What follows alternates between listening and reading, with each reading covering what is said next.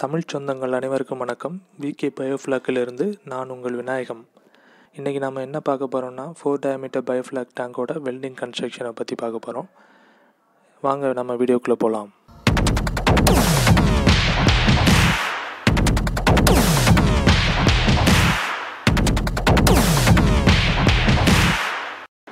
இப்போ வீடியோ பாருங்கள் உங்களுக்கு தெரியும். இதுதான் வெல்டு மெஷ்ஷுங்கிறது இதில் மூணு வெரைட்டி இருக்குது ஹை லோ மீடியம்ங்கிற மூணு வெரைட்டி இருக்குது இது வந்து நாலு அடி ஹைட்டு வெல்டு மெஷ்ஷு உங்களுக்கு வந்து நாம் போட்டிருக்க வந்து ஹை லெவல் போட்டிருக்கோம். இதோட சைஸ் வந்து ஒன்றுக்கு ஒன்று வரும். மொத்தம் பதிமூணு மீட்ரு நீங்கள் ரவுண்டாக சர்க்குலராக நீங்கள் ஷேப் பண்ணிங்கன்னா உங்களுக்கு எக்ஸாக்டாக உங்களுக்கு சர்க்கிள் வந்துடும் அதுக்கப்புறம் பார்த்தீங்கன்னா இது டுவெல் எம்எம் பாரு இதில் எயிட் எம்எம் போடலாம்.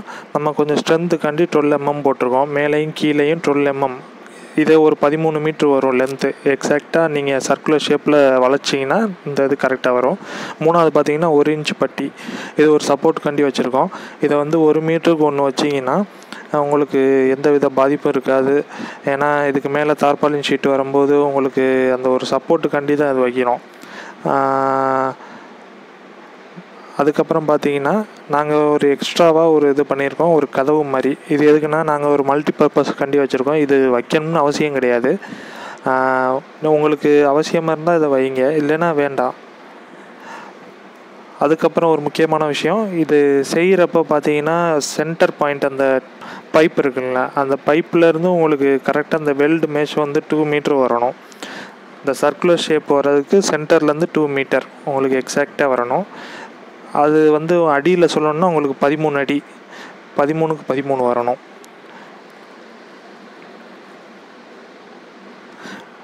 உங்களை கரெக்டாக ஃபினிஷிங் பார்த்தீங்கன்னா இப்படி தான் இருக்கும். உங்களுக்கு ஸ்லோப் உங்களுக்கு வீடியோவில் பார்க்க அவ்வளோவா தெரில. உங்களுக்கு நேரில் பார்த்தீங்கன்னா அந்த ஸ்லோப் தெரியும். அதாவது நான் சொல்கிறது அந்த கீழே அடியில் பேஸ்மெண்ட் வந்து உங்களுக்கு சொல்கிறேன் இது வந்து கதவு. இப்போ பார்த்தீங்கன்னா எப்படி செய்கிறதுங்கிறத நான் ஒரு ஷார்ட்டாக சொல்லிடுறேன். இப்போ பார்த்தீங்கன்னா டுவெல் எம்எம் பாரை வந்து கீழே வெல்டு வைக்கிறாங்க சுற்றி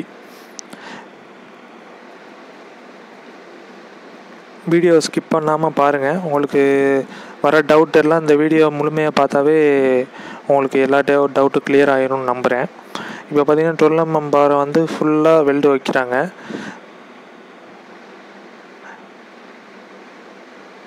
இந்த மாதிரி தான் பண்ணணும். இன்னொரு முக்கியமான விஷயம் நீங்கள் வெல்டிங் பண்ணுறப்ப நீங்கள் சைட்டுக்கே வெல்டரை கூட்டிகிட்டு வந்து வச்சுருங்க. ஏன்னா அங்கேருந்து டிரான்ஸ்போர்ட்டேஷன் ரொம்ப சிரமம். ப்ளஸ் வந்து உங்களுக்கு இங்கே சைட்டில் இருந்தால் தான் உங்களுக்கு எக்ஸாக்டாக அந்த டூ மீட்டர் பண்ண முடியும். இப்போ பார்த்தீங்கன்னா ஒரு இன்ச் பட்டியை வந்து ஒரு மீட்டருக்கு ஒன்று வந்து வெல்டு வைக்கிறாங்க.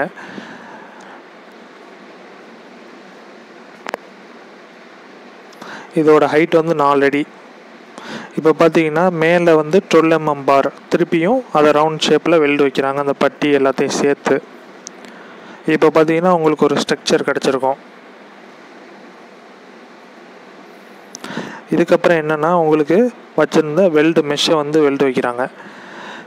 இதை வந்து நீங்கள் பதிமூணு மீட்டருக்கு ஒரே ரவுண்டாக நீங்கள் வெல்டு வச்சாலும் ஓகே தான். இந்த மாதிரி சைஸ் பண்ணி வச்சாலும் ஓகே தான். இதை நிறைய பேர் சொல்லுவாங்க இப்படி வச்சா உங்களுக்கு வந்து ப்ரெஷர் தாங்காது அப்படின்னு சொல்லுவாங்க. அப்படி எதுவும் கிடையாது. இப்படி வச்சனால எங்களுக்கு எந்த பிரச்சனையும் இது வரைக்கும் வந்தது கிடையாது. வெல்டு மெஷ் வைக்கிறது இப்படி தான். உங்களுக்கு ஃபினிஷிங் ஸ்ட்ரக்சர் வந்து இப்படி தான் வரணும்.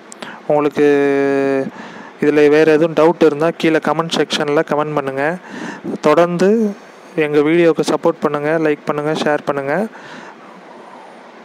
வேறு எந்த விதமான உதவியாக இருந்தாலும் கீழே கமெண்ட் பண்ணுங்கள் நான் என்னால் முடிஞ்ச அளவுக்கு ஹெல்ப் பண்ணுறேன் ரொம்ப நன்றி.